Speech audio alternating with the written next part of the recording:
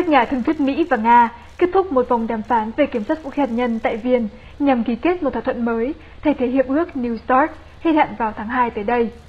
Hiệp ước đó là thỏa thuận cuối cùng còn lại để hạn chế kho vũ khí của hai cường quốc hạt nhân lớn trên thế giới. Thương thuyết gia mỹ Marshall Billingsley ngày hai mươi ba tháng 6 cho báo giới biết một ngày thảo luận cấp cao hữu ích kết thúc tối hai mươi hai tháng 6.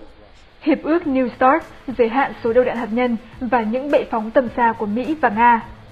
thỏa thuận đạt được vào năm hai ngàn linh mười, nhưng những hạn chế không có hiệu lực cho đến năm hai ngàn mười tám.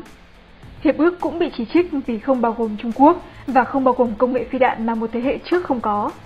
Ông Billingsley nói, bất cứ thỏa thuận mới nào cũng phải bao gồm tất cả vũ khí hạt nhân, mà không chỉ là vũ khí hạt nhân chiến lược, ngoài ra cũng phải hạn chế trung quốc nữa.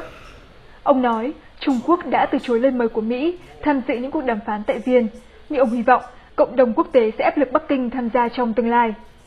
nga phái đoàn trở về nước tối hai mươi hai tháng 6, không phản đối việc trung quốc tham dự các cuộc thảo luận này nhưng cũng muốn những cường quốc hạt nhân khác ở phương tây như anh và pháp cũng tham dự.